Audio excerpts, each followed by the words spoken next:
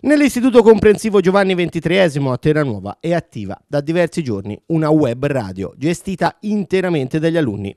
Il tutto in podcast ed è una delle attività collaterali rispetto alle normali lezioni, con la partecipazione diretta di tutti e continue interviste ai ragazzi che così si avvicinano gli uni agli altri scoprendo le singole personalità, sotto l'egida del dirigente scolastico. Insieme a un giornalino web è un altro degli strumenti di comunicazione e vogliamo dire di trasparenza.